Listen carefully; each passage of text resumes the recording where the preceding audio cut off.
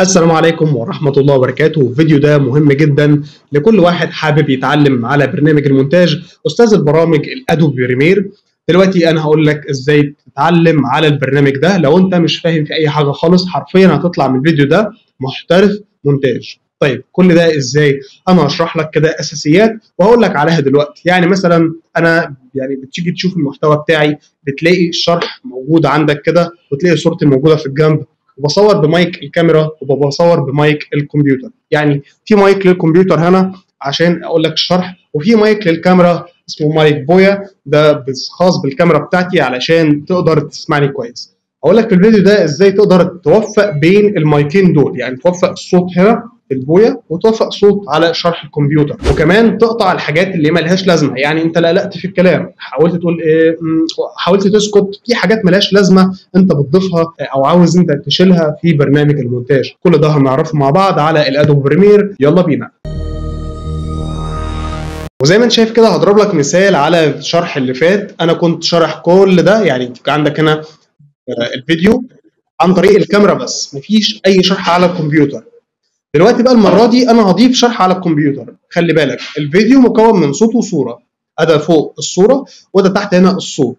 طيب دلوقتي عليا إن أنا عاوز أضيف فوقه هنا الشرح اللي موجود على الكمبيوتر. يعني لو تلاحظ كده أنا كنت باصص على الكمبيوتر وأنا بقدم لك الشرح.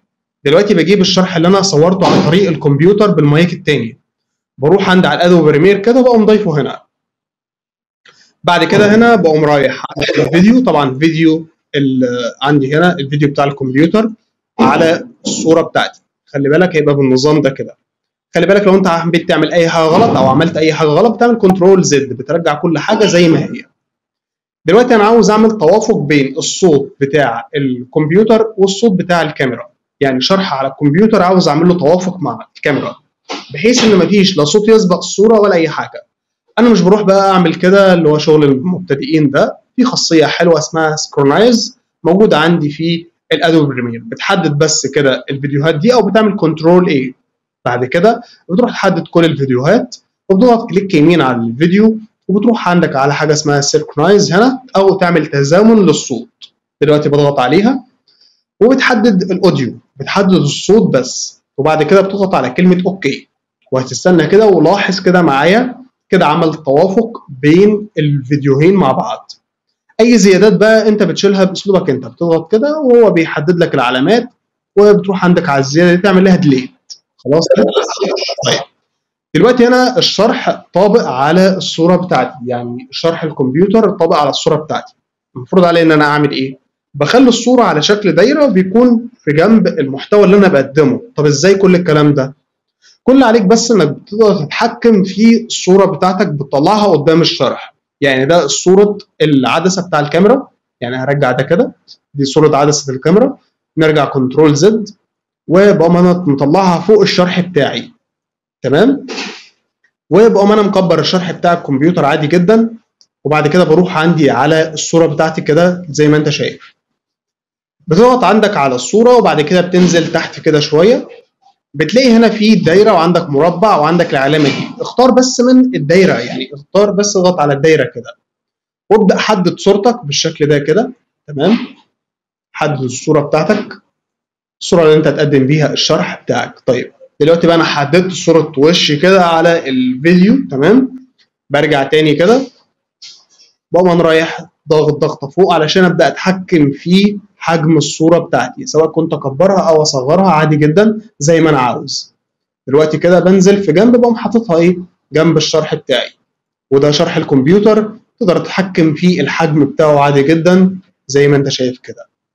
لما أجي بشغل الفيديو بيظهر الشرح زي ما أنت شايف في النظام. ده يبقى أنا كده قدرت إن أنا أعمل توافق بين الصوتين قدرت إن أنا يعني أتحكم في الصورة بتاعتي وأقدر أعمل لها قط طيب لو في أي زيادات أو أي سكوت أنت عاوز تشيله في برنامج المونتاج هتعمل إيه؟ طبعا هنا عندك العلامة دي اللي هو بتقدر تتحكم في الفيديوهات سواء كنت عايز توديها كده تجيبها كده براحتك خالص. تحت هنا كده في حاجة اللي هنا عاملة زي الموس كده بتقدر تعمل لها قط أو تعمل قطعه دلوقتي بقى بتروح عندك على أي حاجة أنت مش عاوزها وتعمل لها cut يعني مثلا في زيادة هنا لو جيت تلاحظ يعني في علامات زايدة هنا كده بعمل لها cut بقوم رايح محددها وأعمل لها كده إيه cut خلاص وأقوم محدد هنا وأروح أضغط عليها بتتحدد على طول معايا وبعمل delete بروح بضغط على الزيادة دي أو الفراغ ده وبضغط delete يبقى أنا كده قلت إن الفيديو بتاعي عاوز يبقى بدايته هنا طيب دلوقتي أنا اتكلمت معاك وجيت في لحظة كده قمت أنا موقف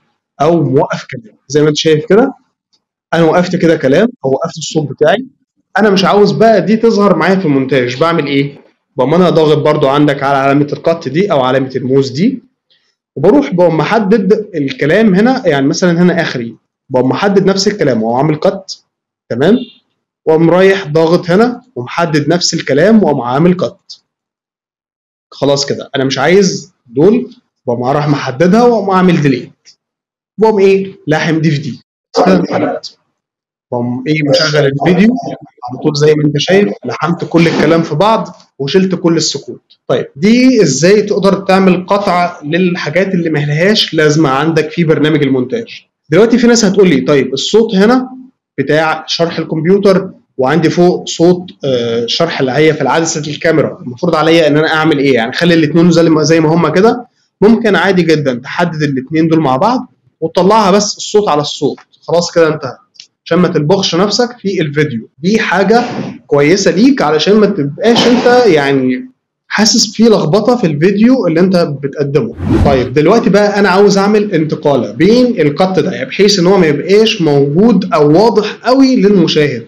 إن هو المشاهد ما يحسش إن اللي أنا عامله ده فعلا شغل مونتاج بقى وإن أنا عملت cut علشان أنا يعني ما عرفتش إن أنا أشرح الجزئية دي. أو عملت cut بحيث إن أنا شرحت الجزئية دي تاني مرة في برنامج المونتاج.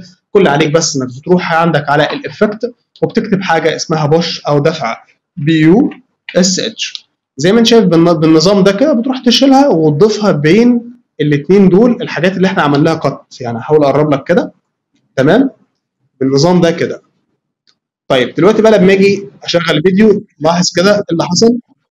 نرجع تاني لاحظ كده إيه اللي حصل؟ طيب ممكن أضيف على الاثنين عادي جدا بحيث إن الشرح والصورة بتاعتي هما الاثنين يروحوا يتعمل لهم push أو دفعة. دلوقتي بضغط كده زي ما أنت شايف أنا يعني الشاشة بتتحرك معايا بحيث إن القط ده بقول للمشاهد إن أنا انتقلت لجزئية جديدة في الشرح. طيب أنا عاوز أسرع القط ده أو عفوا عايز أسرع البوش ده. بعمل إيه؟ تضغط عليه ضغطة كده وبتروح عندك تقدر تتحكم في السرعة بتاعته. يعني مثلا أنا هخلي السرعة هنا في خمس ثواني. شوف لاحظ كده معايا؟ أو خمسة جزء من الثانية. لاحظ كده معايا اللي حصل؟ بص شايف الانتقالة دي؟ ويا سلام بقى لو أنت جيت تحط أنت يعني effect اللي هو بتاع الانتقالات. لما بروح عندي كده بروح على برنامج أو المؤثرات بتاعتي. زي ما انت شايف كده بروح عندي على المؤثرات الصوتية بلاقي كذا مؤثر صوتي وأسيب لك المؤثرات ديت في الرابط اللي هتلاقيه في التعليقات. سيبها لك مجاني أقدر أنزلها وتقدر تستخدم أي push أنت عاوزه. طيب دلوقتي بقوم أنا ضاغط على المؤثر ده وأقوم ضايفه تحت كده بحيث إن هو يعمل لي صوت في الانتقالة دي. زي ما أنت سامع كده أو حاول تسمع معايا. زي ما أنت شايف كده الانتقالة دي عمل لي معاها صوت. أنا برضه هحاول أخليها لك في المونتاج توصل معايا أنا في الشرح اللي أنا بقول لك عليه ده. طيب دلوقتي بقى أنا خلصت عملت ال cut بتاعي وضفت المؤثرات وعملت ال push دي وعملت كل حاجة. إيه اللي كان ناقصني بقى في برنامج المونتاج؟ وآخر حاجة أنا هقول لك عليها ومهمة قوي قوي إنك تعمل render أو تعمل استخراج للفيديو بتاعك. زي ما أنا قلت لك أنت بتقدر تتحكم في حجم الصورة وبتتحكم في انتقالاتها وبتتحكم في كل حاجة فيها. أنت عاوز بس تعمل استخراج للفيديو سواء بقى كان HD أو full HD أو 4K ده حاجة ترجع لك انت تضغط على كلمة file فوق هنا وبعد كده بتنزل عندك على ال export تروح عندك على الميديا تضغط عليها ضغطة كده. هنا بيقول لك آه أنا عاوز أعمل render ب quality ممكن نقول high وعندي medium هنا بيحول لك الصورة بتاعتك أو بيحول لك الجودة بتاعتك سواء أعلى جودة أو أقل جودة. عاوز تخليها أنت 4K عادي جدا. دي 4K عندك دي عندك آه 720 P عندك 480 الحاجة بقى اللي تعجبك انت اعملها براحتك. أنا هخليه على سبيل المثال 4K طيب أنا جبتها منين؟ انت بس بتحدد هنا على ال format بتضغط على H 264 H 264 حددها. بعد كده بقى انت بتختار جودة الفيديو اللي انت عاوز تقدمه. يعني لو جيت انزل تحت كده خالص السهم كده بنزل تحت بال keyboard. تنزل تحت كده لحد ما يظهر لك عندك اليوتيوب. هنا دي اليوتيوب. تختار بقى أي جودة أنت عاوزها سواء بقى أنت كنت عاوز جودة زي ما أنا قلت لك 480 720 4K لو أنت عاوز.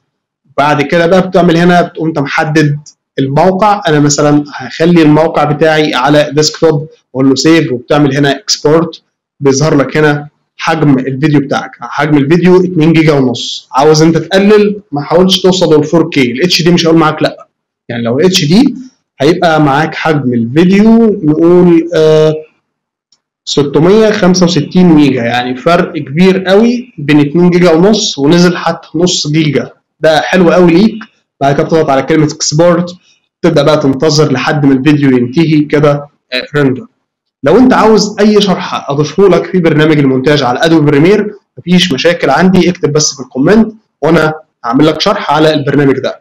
لكن أنا شرحت لك اساسيات انت لو فهمتها هتقدر تفهم بقية برنامج المونتاج على ال Adobe Premiere وتقدر تمنتج الفيديو بتاعك عادي جدا من غير أي مشاكل أو من غير بقى ما تروح أنت تدور على اليوتيوب.